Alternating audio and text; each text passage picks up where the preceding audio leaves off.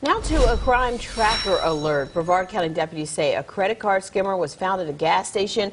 According to our news partners at Florida Today, the skimmer was pulled from a pump at the Shell station on Grissom Parkway in Port St. John yesterday. The device was found after a routine inspection by Florida Department of Agriculture. Now, deputies are saying this case appears to be isolated and not part of a larger string like the one that happened last year in Brevard County.